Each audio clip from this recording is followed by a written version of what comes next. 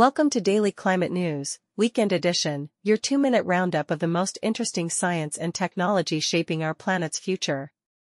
It's the Halloween weekend, October 31st through November 2nd, 2025. Let's explore four breakthroughs making real progress for a cleaner, smarter world.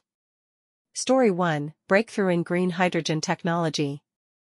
Researchers at the National Renewable Energy Laboratory have created a new high-efficiency membrane for electrolyzers that cuts electricity use by 20%. The material is cheaper and more durable, using recycled metals instead of rare elements.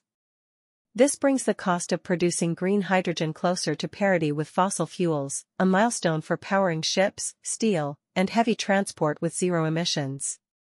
Story 2, Record-setting perovskite solar panels. Scientists at the University of Sydney have achieved record efficiency using layered perovskite solar cells. Their new triple junction design captures a broader range of sunlight, turning more photons into power. This means more energy from fewer panels and opens the door to flexible, lightweight solar sheets that could be built into rooftops, vehicles, or even clothing. Story 3 Turning agricultural waste into carbon storage.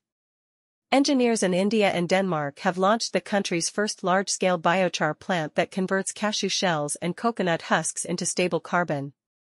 The biochar can be added to soil to improve fertility while locking away carbon for centuries.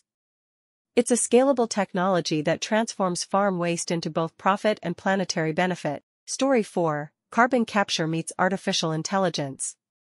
Researchers at Purdue University are using AI-guided mineralization to speed up how quickly carbon dioxide binds to natural rock and clay.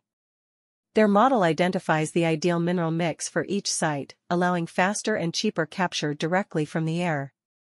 This new approach could cut costs for negative emission technologies and turn captured carbon into construction materials like bricks and tiles. That's your daily climate news weekend edition, fast, factual, and focused on the breakthroughs shaping a better future. Follow for Monday's update, where we'll bring you the latest in global climate science and clean tech innovation.